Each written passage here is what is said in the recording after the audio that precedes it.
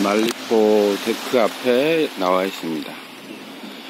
지금 아침에 간조가 시작되었고 대략 간조가 시작된 지 한 3시간 정도 지난 것 같습니다. 3시간? 2시간에서 3시간 정도.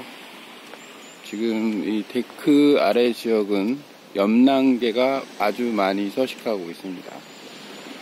물이 쓰고 한 두세 시간 정도 흘러가면 염난개들이 활동을 시작합니다. 지금도 저기 보면 한 마리가 활동을 하네요.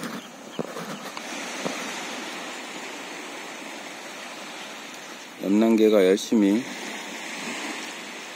어, 집을 만들고 있습니다. 그리고 먹이 활동을 아마 시작할 것 같습니다.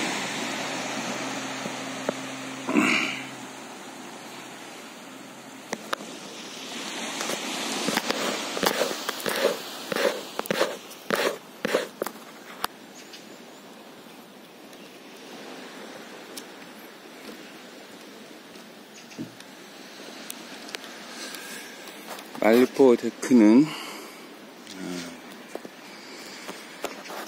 저서 생물군 중의 하나인 염난개를 관찰하기 아주 좋은 장소입니다.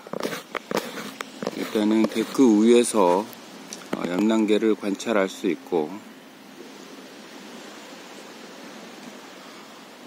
또 어, 모래에서 염난개를 바로 촬영할 수도 있고 사진도 찍을 수 있습니다.